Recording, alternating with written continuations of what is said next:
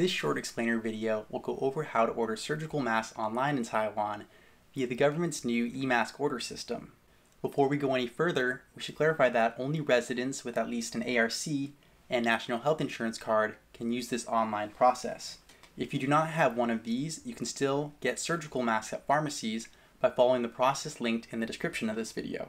Before pre-ordering masks on Taiwan's eMask website, you must register your National Health Insurance card with your ARC and set a login password. You will need a card reader like this one that you can buy at most electronic stores in Taiwan for under 300 NTD. Here are the steps to register your National Health Insurance card for the online system. First, you must register at the NHI Card Online Service registration website at the link included in this video right here. Download a plugin either for Windows or for Mac and you insert your card into this and it'll fill out your name, household ID number, household registration address. I'm to download right now the one for Mac. So it's installing. Open the zip file, and then it says it can't be opened because it's from an unidentified developer. So I just go to System Preferences. I go to Security and Privacy. And then from Security and Privacy, I need to click Open anyway. I click Open. And then I continue through the installation process. Installation was successful. Then enter in the information from your ARC, including the UI, which is just your ARC number, expiry, and the number on the back. Next page is entering a password, confirming a password, local phone, mobile phone, email.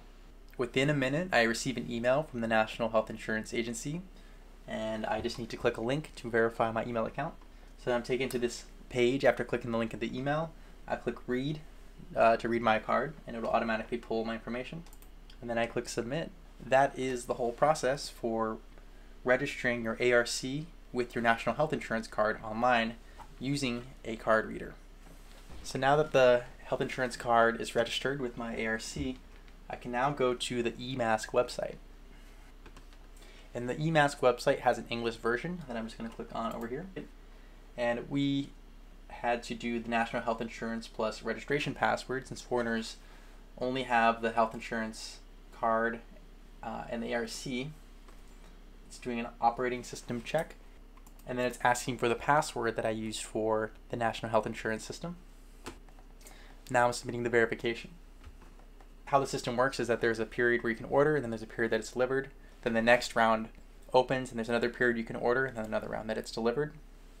So let's go place an order name, email, the pickup store, and then a CAPTCHA. Alright, so now I'm choosing which convenience store that I want to pick the mask from. You can pick these masks up at a convenience store near you, such as 7-Eleven, Family Mart, Hi-Life, or OK Mart.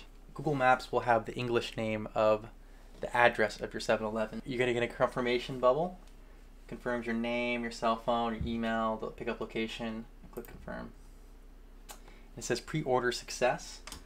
If you have any questions during this stage, you can use the live chat tool at pdis.tw slash emask or dial the mask hotline Monday through Friday from 8 a.m. to 6 p.m.